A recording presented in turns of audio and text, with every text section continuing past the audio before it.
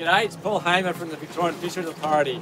We're out here off Lorne today and we've just deployed two new FADs for the summer.